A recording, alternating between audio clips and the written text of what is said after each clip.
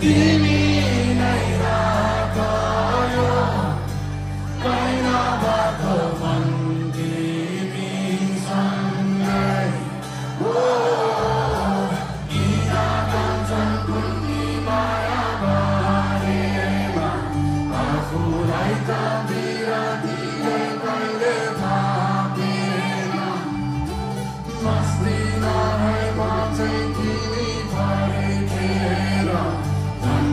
Un mato, ai ni un mato,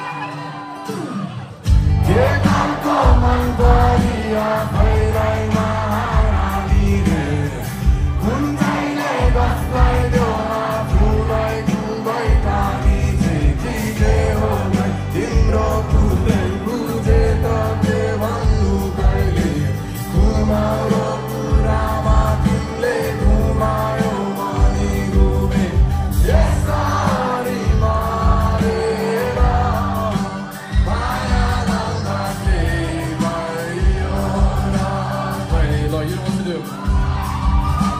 to do.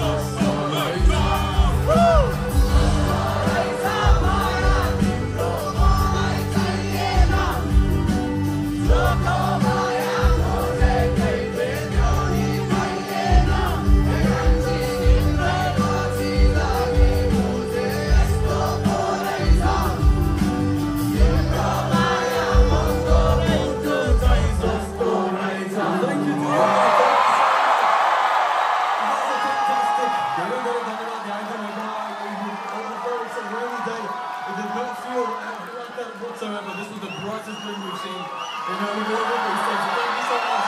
Much love to you. Thank you so